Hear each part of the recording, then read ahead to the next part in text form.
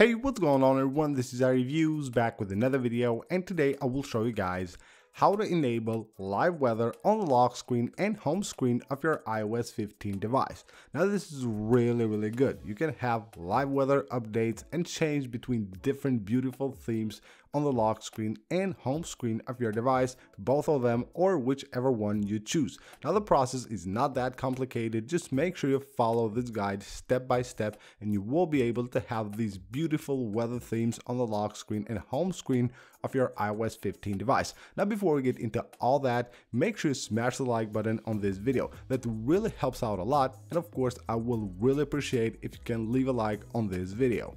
Alright, so the first thing you want to do is go ahead and download Discord from the App Store. I will leave it linked right down below in the description of the video. I'm pretty sure a lot of you guys already have it. If you don't, make sure you download it. It is free from the App Store. Now, once you have that installed, you will need to, in, to actually join a Discord, which I will leave linked right down below in the description of the video. Once you have done that, then what you need to do, the second step is go ahead and head on to the Files app. From here, make sure you go ahead and go to the iCloud Drive, go to the shortcuts folder and tap anywhere on the blank space tab and hold you will get this pop-up tap on new folder and add this folder called iOS weather. So lowercase i, uppercase O, uppercase S, and uppercase W, and then the other ones on lowercase. You need to do this exactly like this.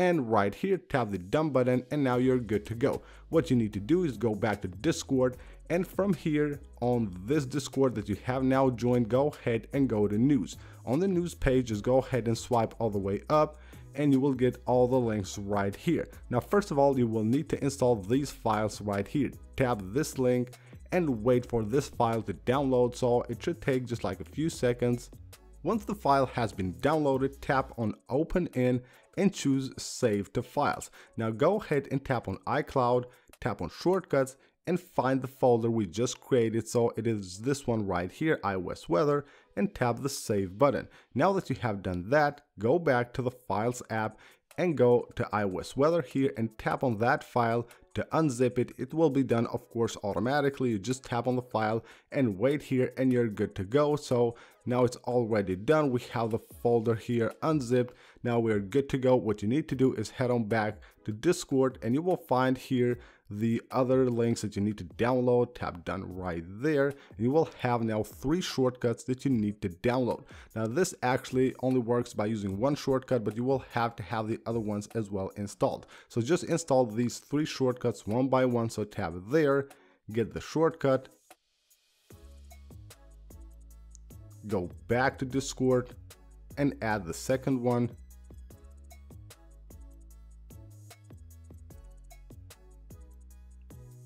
add the shortcut right here and then let's go ahead and add the last one now the good thing about these shortcuts is that if they need to be updated or you don't have the latest version, they will update automatically. They will show you a pop-up right here to actually go ahead and update them.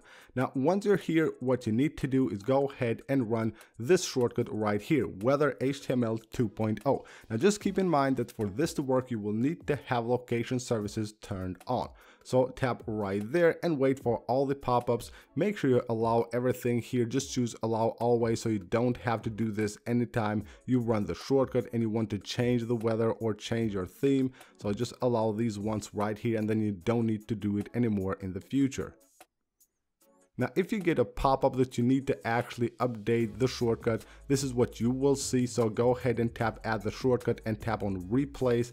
That will replace the old shortcut with a new one and then just wait for this to finish. And right now you will have basically the default theme of this shortcut on the lock screen of your device. Just wait for this to finish and then you're good to go. And then of course I will show you guys how to actually change the themes and add any of the beautiful themes which you can find on the discord. There are some really really amazing themes that actually show quite a lot of different informations not just weather on the lock screen of your device. So let's just wait for this to finish and now it's done, the shortcut has ran and it's completed now. Now if you get the shortcut stuck, it's not completing, what you need to do is just go ahead and close the shortcut app, of course, make sure you close it from the app switcher as well, and then go ahead and run the shortcut again, and it should work because on iOS 15, there's a bug that actually stops the shortcuts from running all the way. So if that happens to you, if the shortcut gets stuck, just make sure you restart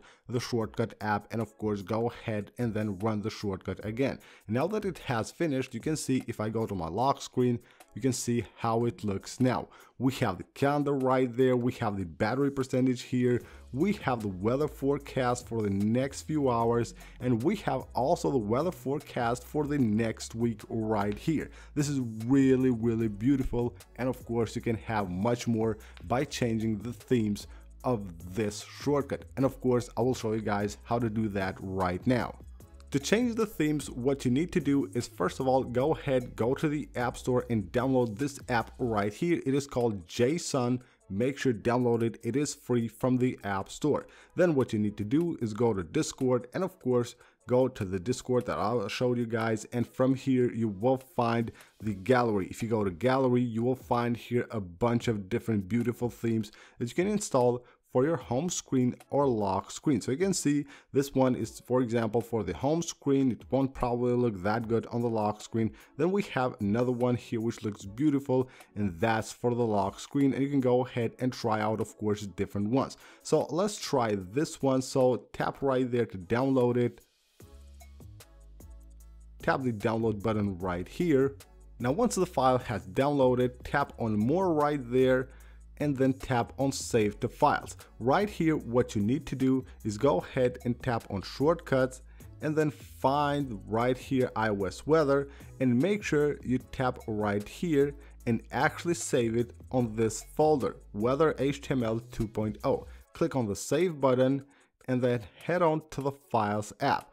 Right here you will find it of course let's just go from the beginning so iCloud Drive, shortcuts, iOS weather, here we have iOS weather, then go to this folder and you will find right here the theme that we just downloaded and it is this one right here. What you need to do is go ahead and tap on it to actually unzip this. So tap right there and wait for it to unzip once the folder has been unzipped, what you need to do is just tap on the name of the folder and it will be selected like that. Tap once more copy the name of the folder right there.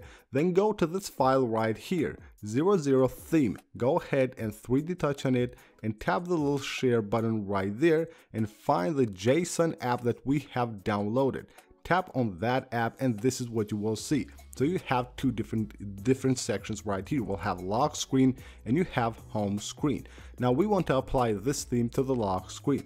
Now what you need to do is go ahead and just go to theme ls folder right there, select this and then just tap paste so you will paste the new name of the basically the theme that we just have downloaded.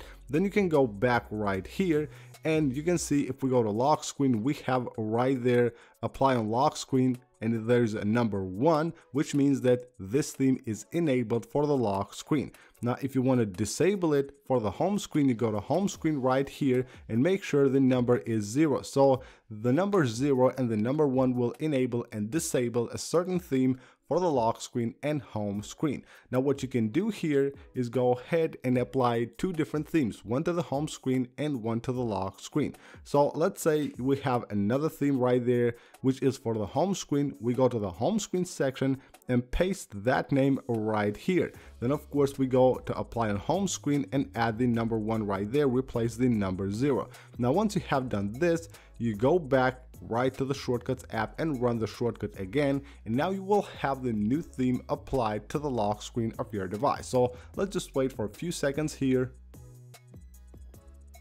And now that the shortcut has run, you can see if we go to the lock screen, we have a new beautiful theme. You can see how good this looks. It actually makes the lock screen of your device look totally, totally different. And that of course, without even having to jailbreak or do stuff like that to your device. And now let me show you guys how to have this updated automatically so you don't need to run the shortcut any time of the day.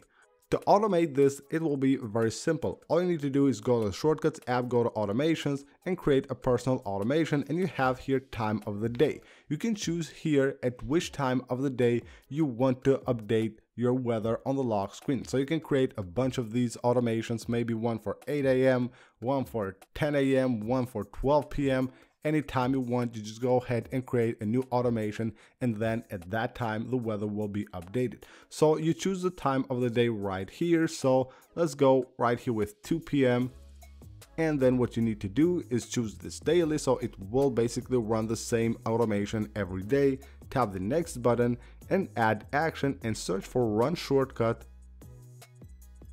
So here we have a run shortcut and then tap right there and choose Weather HTML 2.0.